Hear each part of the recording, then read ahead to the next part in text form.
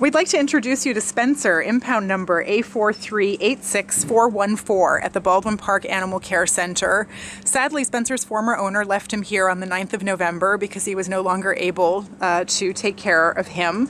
Uh, but this guy has caught the eye of our staff and volunteers at the shelter because he's such a calm, loving, and affectionate dog. We think he's about four and a half years of age and he weighs about 65 pounds is our uh, guesstimate. and as you can see here, he just loves relaxing with you. He's uh, just a really loyal and sweet dog who likes being around people and hanging out.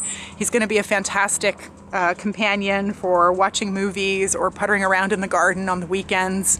Uh, just a relaxed, calm fellow uh, who really wants to uh, to spend time with uh, with his humans. Spencer aced his shelter given temperament test. Uh, his former owner reports that he gets along with small kids and with other dogs, and also that he is housebroken, which we've also seen evidence here of the shelter. So Spencer's really a plug and play uh, kind of dog. He's just going to be easy to integrate into your home and just be a loyal and wonderful friend. So please come down to Baldwin Park Animal Care Center and meet Spencer, impound number A4386414.